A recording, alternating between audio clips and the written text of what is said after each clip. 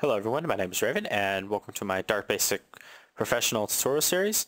In this tutorial series we are going to cover creating games with Dark Basic Professional. Uh, now the nice thing about Dark Basic is it's very easy to make 2D and 3D games with it.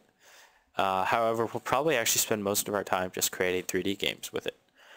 Okay, so the first thing we need to do is obviously we need to get Dark Basic Professional. So go to the gamecreators.com website go to game development and then click Dark Basic Professional.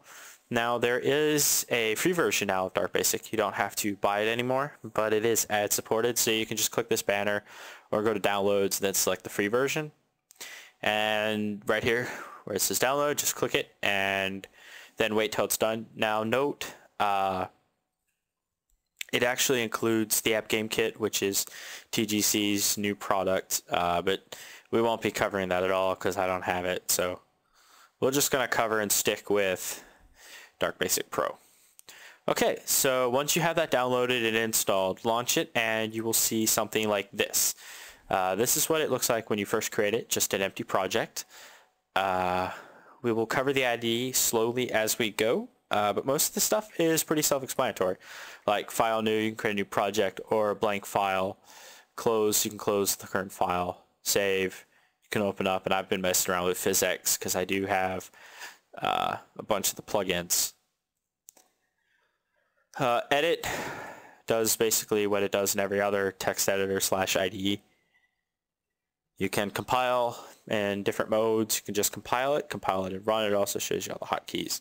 Compile and run in debug mode, compile and run in step through mode, and you can execute the last build. You can use this in full screen, select which toolbars you want, uh, tools, the plugins manager, the plugins. I'm not really sure if that works. Um, I haven't used Dark Basic in a while.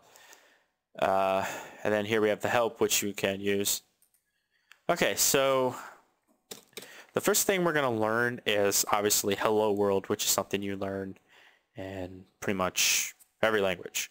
So to do that, we'll type print, and at the left here, whenever you have a command highlighted, or sorry, you're on a line with the command, it'll actually tell you what it does, print it, print statements, and basically we're just going to call this hello world.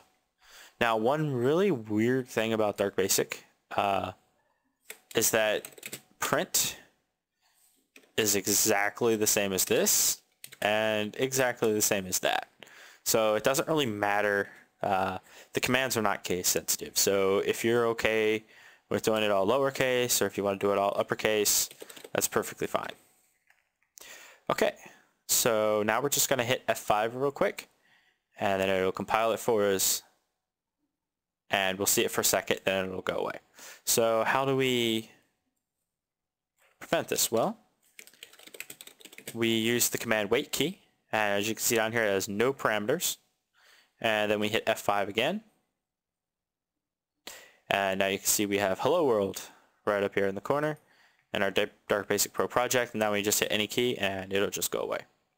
Okay, so the next thing we're going to cover is comments. Now you already see some comments up here, which is the rem. Now, if you do rem, it's single line.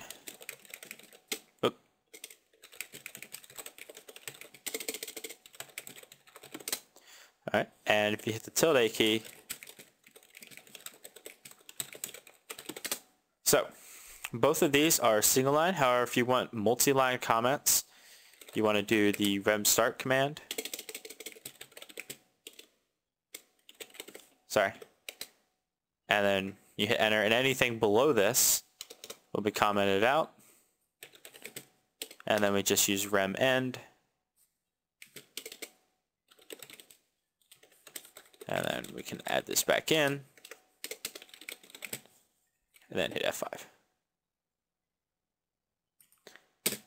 Okay, so that concludes this tutorial. In the next tutorial, we're going to cover um, variables inside of Dark Basic, and we'll probably have just a few tutorials that show just a quick crash course on the syntax itself.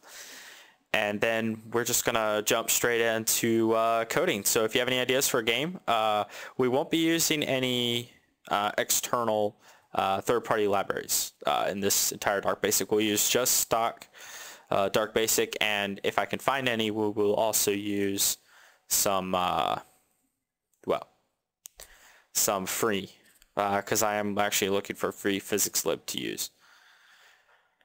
Okay, so that concludes this tutorial. Thank you.